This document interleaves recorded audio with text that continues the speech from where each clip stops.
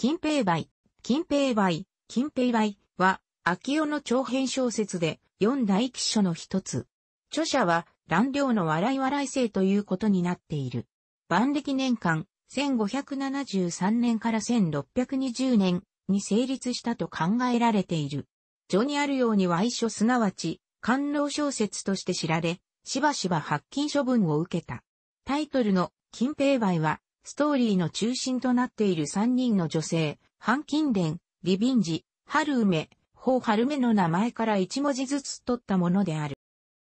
金平梅は、水古伝の第23話から27話までの竹松のエピソードを拡張し、詳細にしたものであり、水古伝からのスピンオフ作品である。水古伝の竹松の虎退治のエピソードを入り口とし、そこに登場する竹松の兄嫁の半金蓮は、貫通した後殺されずに、幹部の西門喜びと暮らし始めるという設定となっている。ストーリーが水古伝から分岐した後は、富豪の西門喜びに、金蓮も含めて6人の夫人や、その他の女性が絡み、邸宅内の生活や欲望が展開してゆく。水古伝同様に、北総松を舞台とするが、綿密かつ巧みに描写されている富裕な商人の風俗や生活には、秋代後期の乱熟した社会風俗が反映している。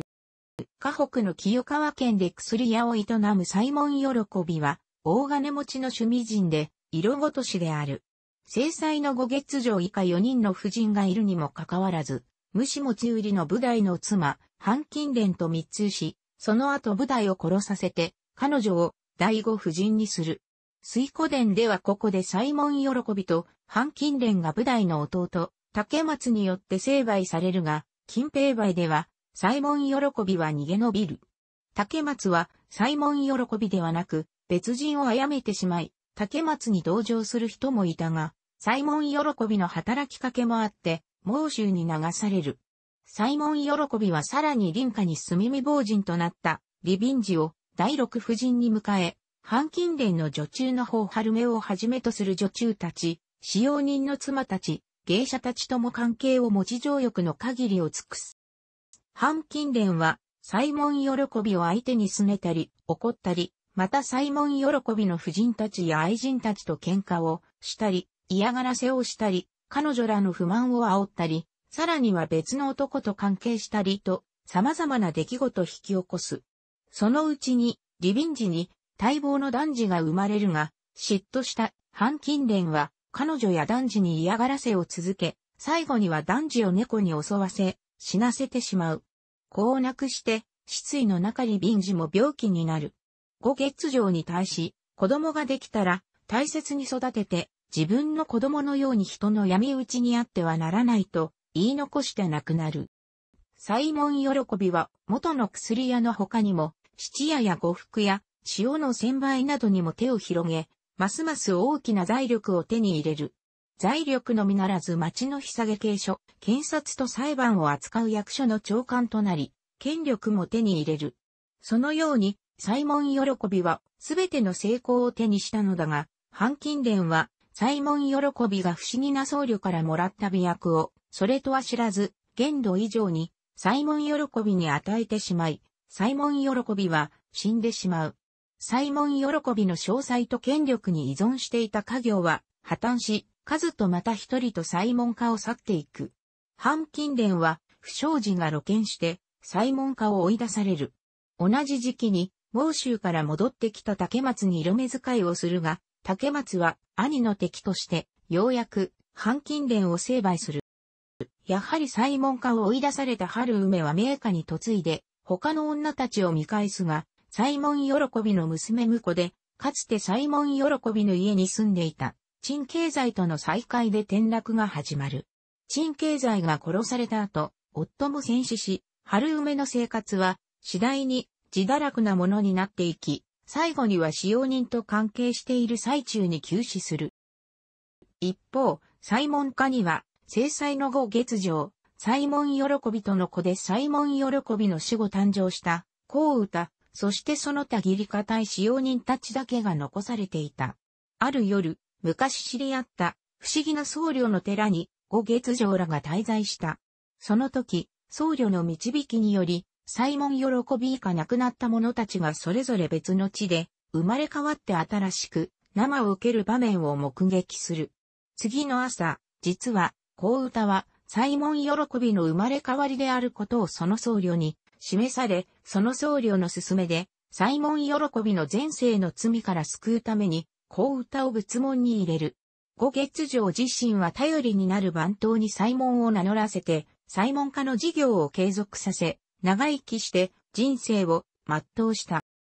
作品は次のような結びの詩で締めくくられる。金平梅は、西遊記、水古伝、三国志演義と並んで四大記書と呼ばれるものでは、あるが、他の三書のように町で、多数の演者により語られてきた講談をもとに、編集されたものとは異なり、一人の人物が緻密に構成して書き上げたという点で、中国の白話小説でも画期的なものである。金平梅は中国文学史上、それまでの水古伝や三国志演義などの波乱万丈のストーリー特徴とする小説からの転換点にあたり、その後の樹林返しや功労無などの小説に大きな影響を与えた。中国文学者、中野美代子は、著書、中国人の思考様式小説の世界から、マイナス、講談社現代書、1974年で、作者と読者、聴衆ではなくの1対1の関係の設立した中国での最初の小説として、ロジン以降の近代小説の先駆的存在と述べている。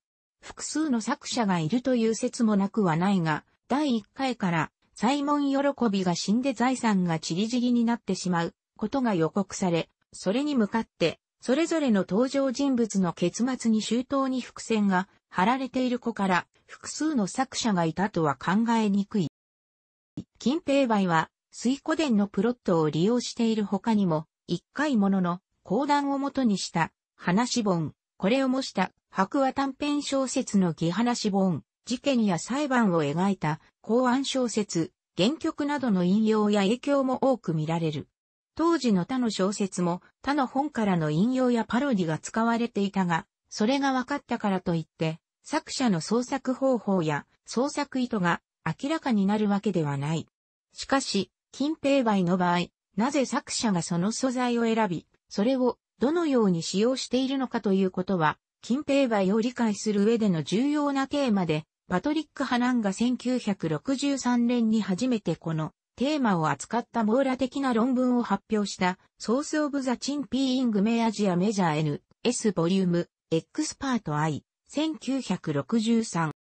具体的な素材としては、例えば話本の清平、山道話本、形成通言などが挙げられる。あるいは、公職短編小説の如意訓伝も素材に取られている。この如意訓伝では、講談や、それをもとにした口語文学の写実的な表現方法とは違い、式場描写が詩や変語などの方法で、比喩やほのめかしで表される。そして、金平梅でもそのスタイルが取り入れられており、文言小説の手法が、口語小説に取り入れられているという点で注目すべき点になっている。理解先の書いた戯曲である、封建記も金平梅に取り入れられているが、このような戯曲や曲は、作者が実際に見たり聞いたりしたものを自分でも歌い、記憶をもとに書いている形跡がある。金平梅では、先行する水古伝の世界ではほぼ省かれていた女性、愛欲、金銭、悲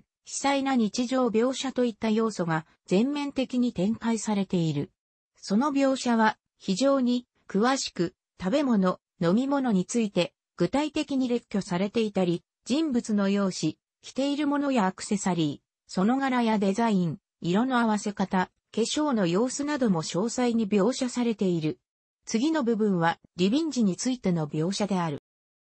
このような表現が衣食住のそれぞれについて、あちこちに認められる。あまりに詳しく書いてあり、そのような箇所も大変に多いので、読んでいて、鬱陶しく思うという感想さえ持たれるほどであ。会話や金銭の受け渡しなど、人々の振る舞いが滑車されていることも特徴である。中国文学者の草加緑は、第21回のエピソードを例にとって、描写のリアルさを説明している。この回では、半金蓮と毛玉郎が他の三人の奥様方からも金を集め、五月城を招いて、みんなで雪見の宴会をしようと計画を立てるのである。ここでは、例えば、銀の地金、または、その加工品を計りで測って取引をする様子が描かれている。もちろん当時は、実際そうやって取引をしていたのである。また、使用人が預かった金をごまかすことが黙認されている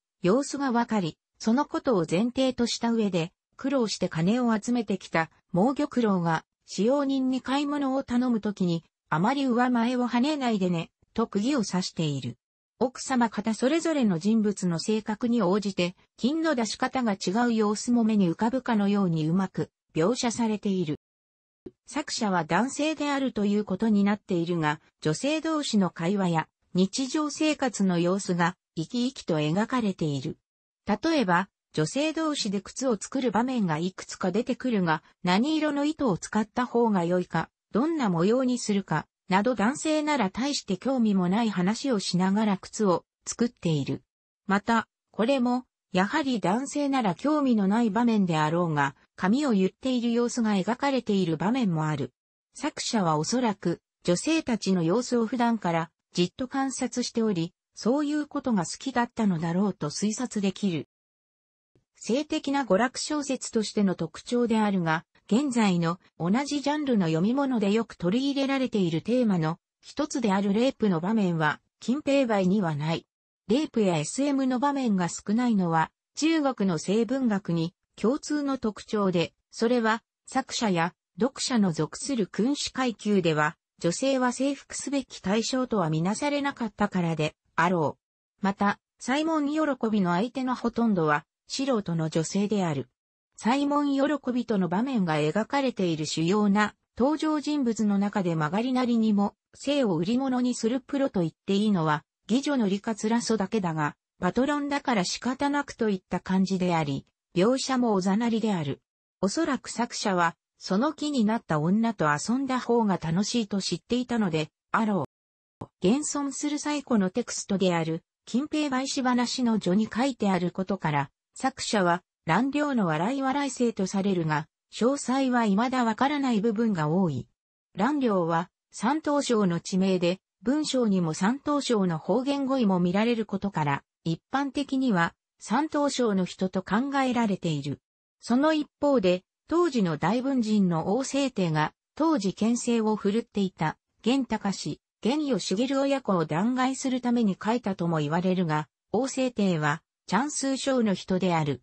また、現在の上海語に近いクレ語と共通する方言語彙も多く現れることから、クレ語地の出身者という見方もある。なお、乱量は名手を賛することで有名なことから、乱量の笑い笑い性とは、酒を飲みながら、笑って書いたくらいの意味のペンネームであり、必ずしも乱量の人とは限らないのではないかと、草上緑は述べている。具体的な作者名としては他にも、理解先やと隆も挙げられるが、その主な根拠は、理解先のものと分かっている文章が使われていたり、と隆のものと見られる文章が使われているからである。ただ、近平梅は、当時の俗文学がそうであるように、様々な文章からの引用やそのパロディが非常に多く使われており、理解先やと隆の文章もそうした素材に過ぎないかもしれない。何かを素材にしたことが分かっている。変語や主家の多さから俗文学の類の大量の書籍を容易に手にすることができた人物ではあるだろう。また、文章のみならず他の素材からプロットを借りてきている部分も多く見られる。もともと、水古伝のエピソードを普遍した話なので、水古伝のエピソードを借りているのは自然なことと得るかもしれないが、他の様々な小説からの借用も多い。作者の構想力、多くの女性の性格を鮮やかに描き分ける描写力などについては波でない文才は認められるものの、詩歌やプロットを想像する類の一流の文人と考えるのは難しい。ただし、単に人の文章を借りて無造作に放り込んだというのではなく、引用元の素材を読者に認識させ、それがどのように近平梅に活かされているかというように重層的に楽しむことができように注意を払っていることが認められる。また、近平梅の詳しすぎるほどの状況の描写は、不と呼ばれる文学形式、つまり対象を多くの言葉を費やして保人し尽くそうする特徴を持つ、つて的な文学形式のパロディであるかもしれず、つまり、読者として想定しているのは、普段から多くの書物を読み親しみ、さらに言えば、サ門喜びのごとく多くの者や女性に囲まれて、暮らしているというよう人たちだったのであろう。そして、作者もやはりそのような階層の一員であったと考えられる。身分の低い公爵士が金持ちの生活を想像して書いたものとは考えられず、作中の告発文の様子から考えても作者はかなりの才能、学識を有していたと考えられる。サイモン喜びは作中で七や呉服や糸屋などの商売を始めているが、薬屋以外の商売については描写が詳しい。このことから作者はこれらのビジネスについて幅広く詳しく知っていたものと推定でき、実際に作者自身がこのようなビジネスを手掛けていたのかもしれない。ただし、薬屋の商売については、具体的なことはほとんど描写されていない。薬屋については、水湖伝での設定でもあるし、部隊を毒殺する薬を入手する先を必要とするから、仮に作者が薬屋を描写できるほど、詳しくなくてもこれは外せないのである。写本で出回っていた頃から、すでに好意的な評価から否定的な評価まで様々であった。当時の著名な文人の一人である、円広道は、倍上の七発より優れていると絶賛している。倍上とは負を得意とした文人である。おそらく、円広道は、衣食住の様子を、細々と並べ立てて詳細に述べる部分に面白みを見出したのであろう。また、明の時代は、美食、効果、公職は、人として当然の性質として肯定的に捉える風潮があり、水行動もそのような考えを提唱していた。一方で、倫理的側面からこの小説を否定したり、そもそも単なる滑稽譚として切り捨てる見方もあった。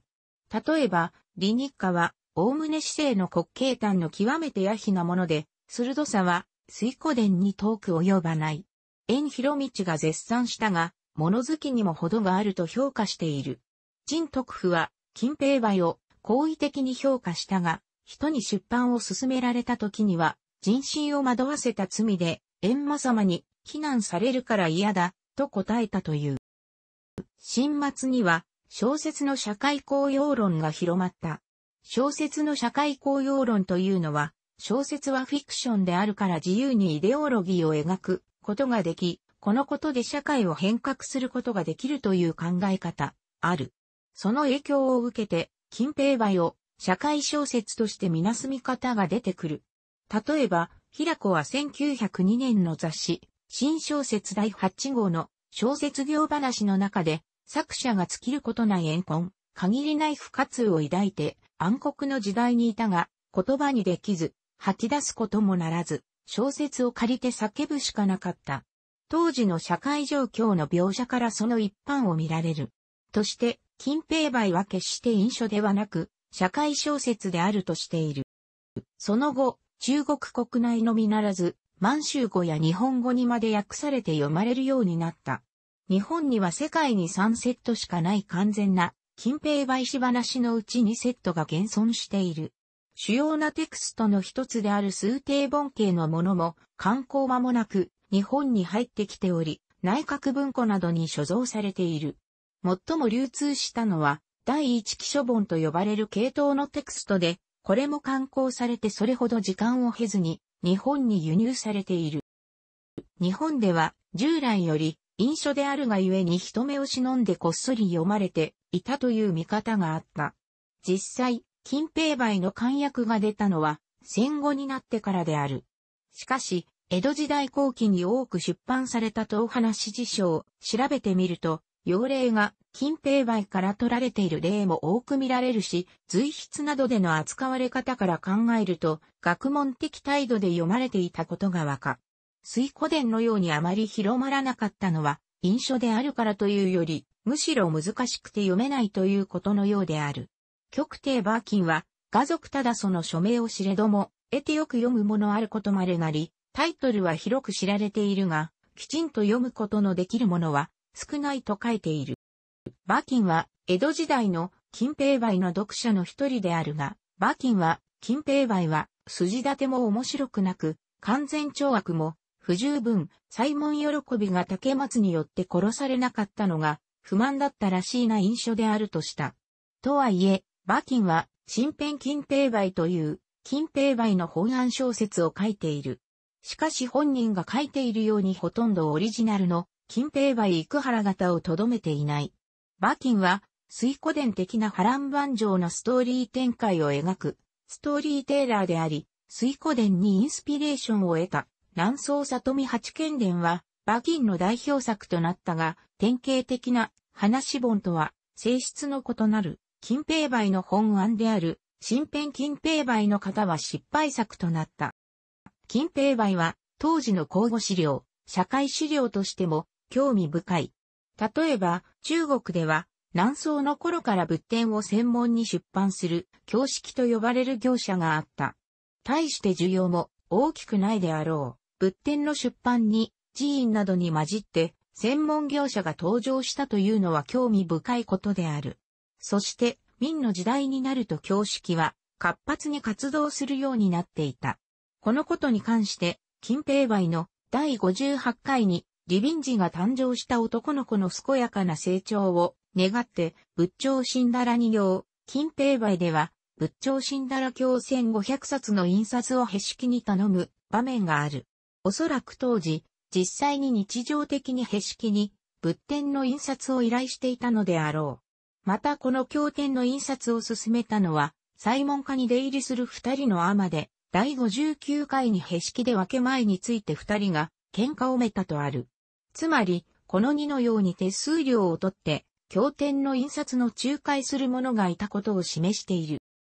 現在残っているテクストには、金平梅し話の系統、し話本と、明の時代の終わり頃に改定され、その後秦の時代を通じて主流になった第一期書本の系統がある。16世紀終わりから17世紀の初めにかけての文人たちの日記や書簡に筆写された金平梅に関する記述が見つかるので、オリジナルが完成した後しばらくの間は筆写の形で広まっていったものと得られている。しかし、現在写本は残っていない。異論もあるが、最初に出版されたのは、万暦38年、1610年とされている。現在残っている最古の金平梅は版本である10巻、全100回の金平梅し話で、万暦年間から典型年間に発行されたものである。その後、散逸してしまったが、1932年に金平梅し話の完全な版が発見された。これは、序に万暦停止、万暦45年、1617年とあることから、万歴本と呼ばれる。現在は、金平梅といえばこの、金平梅し話を指す。現存する、金平梅し話は、以下のもののみである。これらのし本の系統が、筆写本と近い関係にあると言われているが、誤字、脱字、演字、重複、脱落が多く、そのため、意味不明な箇所も多い、とても難解なテキストである。明の時代の終わり、17世紀半ば頃に改訂版が出版される。例えばというような題名の本である。この系統のテクストは日本に2セットと中国に2セット、現存しており、そのうち北京大学図書館が所蔵しているものは、数定年間に出版されたと見られているので、数定本と呼ばれる。しばなし本には挿絵が入っていないが、数定本で挿絵が入れられた。改訂版では、しばなし本で意味不明だったり、辻褄の合わない箇所、構成上疑問のある箇所などを改めている。例えば第19回に、反金蓮と陳経済が合いびきをする場面があるが、第52回でもほとんど同じように始まる二人の合いびきの場面がある。ストーリーの構成上それぞれの合いびきの場面がそこにある。最もな理由は考えられるものの、同じエピソードが繰り返されるのは不自然である。それで、数定本の改定者は、第52回の導入部を第19回との重複がないように変えて、また、第53回で、新経済が存在しない合いびきに触れてるのを書き換えている。また改訂版では、食べ物や着るものの詳細な描写や、歌や会話など、筋に関係なさそうな記述が削除された。特に食べ物の詳細な描写が削除されている。食べ物の描写は、ほとんどがナレーション的に書かれており、登場人物の行動とは無関係である。それで、誰が見ているのか明確である衣服についての描写は、残しても、食べ物の描写は削除することにしたのであろう。また、衣服の描写はつまりは、女性の描写であり、これを残すことで女性を見つめる男性の視線が強調され、公職の方向が明確になった。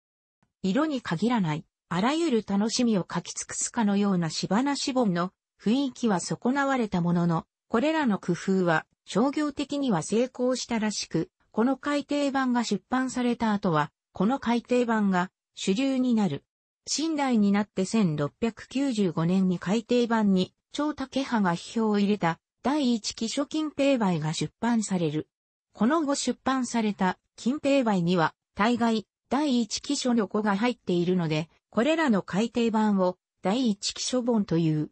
現代になって柴なし本が発見されるまでは、この改訂版こそが金平売であった。ストーリーの構成上、柴なし本と第一期書本の最も大きな違いの一つが第一回の違いである。柴なし本ではまず、項羽と具肥、劉邦と関氏のエピソードを引き合いに出して、以下に悲劇的な結末を迎える男女関係の話をすることを予告した後、竹松の虎退治のエピソードでメインストーリーに入る。関氏が制裁でないので恐れ日より過酷な最後を遂げたことにも触れている。一方、第一期書本では物欲と色欲について触れた後、サイモン喜びが仲間と義兄弟のちぎりを結ぶ場面から始まり、虎退治をした後の竹松が清川県にやってくる。柴なし本には義兄弟のエピソードはなく、改訂者は主人公のサイモン喜びの悪徳な側面を強調し、それを作品のバックボーンに据えようとしたのかもしれない。実際、第一期書本で、桃園の誓いや管アワビの交わりまで引き合いに出して、義兄弟のちぎりを結んだ仲間の一人は、花子居と言い、これはその時点で、リビンジの夫である。つまり、サイモン喜びは義兄弟の妻を横取りしたという話になるわけで、サイモン喜びの告白さや花子居の運命の残酷さを一層浮き彫りにしている。また、第53回と第54回の文章が全く違っている。関連があるかどうかは不明であるが、陳徳府は万歴愛編第25巻で出版の元になった原本には53回から57回がかけてたので適当に補ったよし述べられている。第84回には、水古伝、第32回のエピソードをなぞり、五月城が王英にさらわれ、宗公に助けられる場面があるが、これは第一期書本では削除されている。その他、柴なし本の三等方言が削られている、あるいは各回の表題と冒頭の詩が違うという違いがある。金平梅の第1回から第6回は、水古伝のストーリーをなぞっており、その部分は水古伝の文章が同じように使われている。しかし、第2回の反近伝とサイモン喜びの最初の出会いを描いた場面で、反近伝の様子を描写する変語は、水古伝で、陽遊の妻の反匠雲の様子を描写する変語を使用している。水古伝で、反近伝の様子を表す変語は、第25回の竹松が反近伝にあった場面で出てくるが、これは金平梅の第9回で反近伝がサイモン喜びの家に嫁入りした後の場面で使われている。水古伝での最初の出会いは、反近伝を単に艶やかな女としているだけだが、作者はおそらくそれだけでは不十分だと考え、水古伝から艶やかな女性を表す変語を引用してきたのであろう。一般に、変語というのは、人物の容姿、風景や情景を記述する際に用いられ、その表現は類型的である。厳密に言えば、金平梅で水古伝と同じような変語が使用されているからといって、作者が本当に水古伝の変語を考えていたのかはわからないとは言える。しかし、似たような変語がさらに別の小説で使われている例を比較すると、やはり作者は水古伝の変語を見て、金平梅に使用したことがわかる。引用されている文章から、金平梅の作者が使った水古伝は、万暦17年、1589年、テント外神の序のついている100回に近い現存しない版であると推定されている。金平梅の作者が読んだであろう古い版の水古伝は変語の多い小説であったらしい。現在認められる共通の変語を検討すると同じような状況を表すために水古伝の変語を使用しているだけでなく、水古伝で宗公らが都に入場してくる様子を表した変語の冒頭部分が金梅でリビン時の出棺の行列を表す変語の冒頭に使われているというような意表をついた使われ方もしている。前述の通り、金平梅は読書人を読者として想定しているらしく、このような意表をついた使い方に読者が吉と滑稽味を認めたことは十分に考えられることである。このような手法は他の白話小説には見られない、金平梅独特の特殊な手法である。改訂版の数定本、第一記書本では、水古伝から独立した小説であるようにしようとした意図が見られる。前述の通り、第1回の武将の虎大寺のエピソードや、第84回の五月城が走行に救われる場面は省かれている。変語の類が多く削られているので、水古伝由来の変語もほとんど残っていない。水古伝を含む白話小説で描かれるのは男の世界であり、男同士の中退が重要なテーマになっており、女性に対しては嫌悪の目を向けているとも言える。しかし、金平梅の作者は、作者自身が男性であるらしいにもかかわらず、このような男同士の絆に冷めた視線を向け、さらに、数定本の改訂者は、第1回にサイモン喜びとその仲間たちの義兄弟のちぎりを描くとでその方向をより推し進めている。ダタ数、楽しくご覧になりましたら、購読と良いです。クリックしてください。